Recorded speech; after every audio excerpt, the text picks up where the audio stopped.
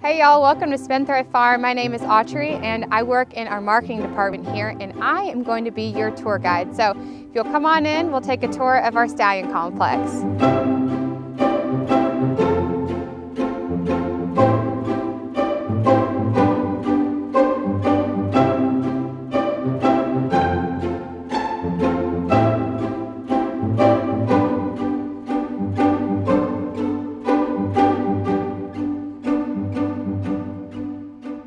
Are now standing in front of our breeding shed. So this is the crux of our business. This is what Spendthrift Farm is all about. We call ourselves the Breeder's Farm. Everything we do is with the purpose of breeding our stallions.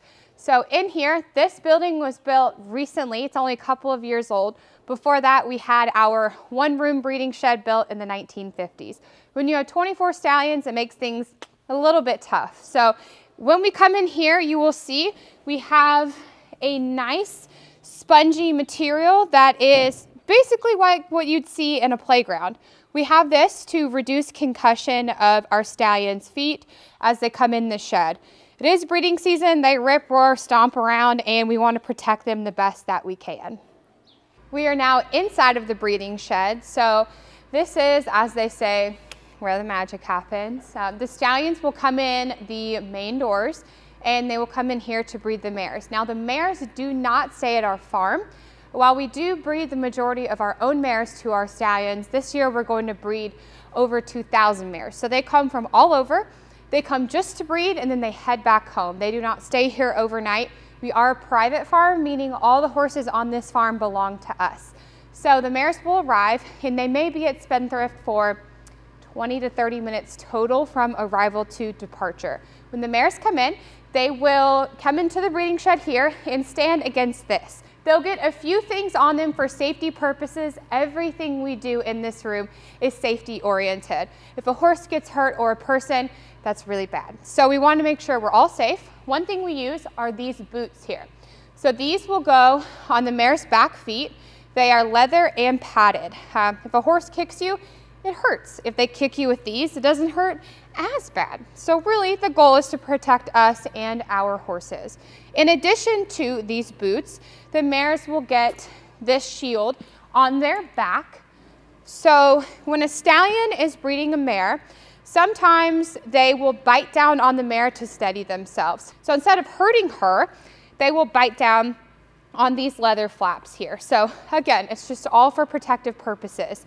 Uh, other than that, that's for the most part what we use.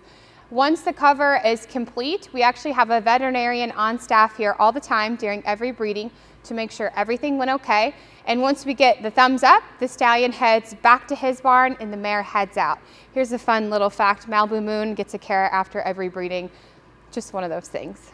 We are now standing on the back half of our breeding shed. We are getting ready for breeding right now, so it's gonna be a little busy. You're gonna see people walking around, maybe some horses, uh, getting ready for the afternoon session. At Spendthrift, we breed at 7 a.m., 2 p.m., and 7 p.m., seven days a week. From this year, we open on February 10th, and we'll close around July 4th. Some stallions can breed all three times, some breed twice, some breed once a day.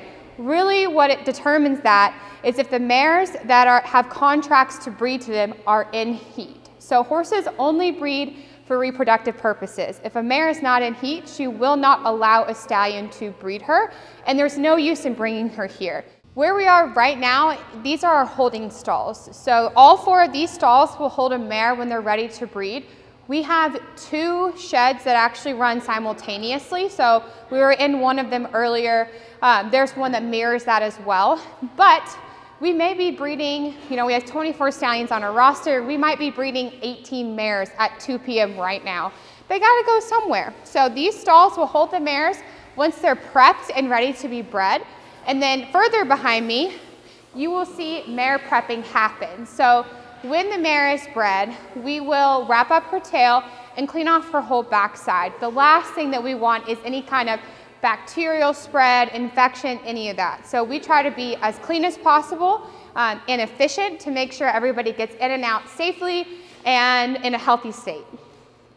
When mares arrive to the breeding shed, they will get a stallion tag on their halter. So uh, when a mare comes in, we check her paperwork, make sure that she is the mare that we expected to come, and then she will get one of these stallion clips on her halter. That clip will not come off until she is actually in the breeding shed room. That way, if we have 12 mares here, all of them are bay or brown horse with one white sock. We don't lose track of who's who. So these will go on there, but sometimes you'll see these red tags.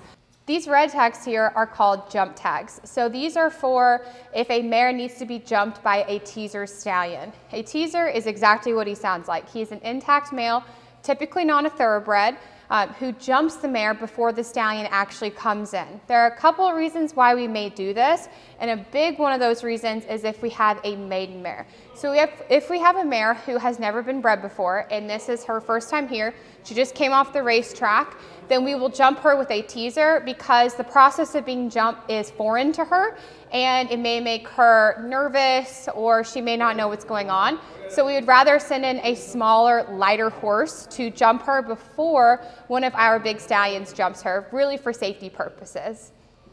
So behind me, you will see our stakes wall. So these are all stakes winners that were conceived in a spendthrift breeding shed since the farm started. They go all the way back to 1941 and go all the way through 2019. We put up half the year in September, and then we will put up the rest of 2020 in January next year.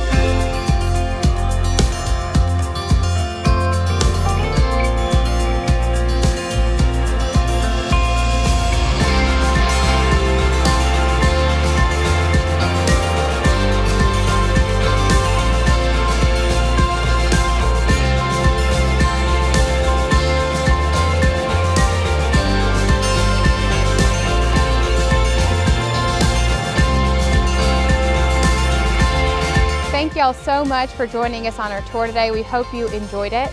You can find us on all social media platforms. We are on Facebook, Instagram, Twitter, and TikTok as Spendthrift Farm. And we hope you had fun joining us today.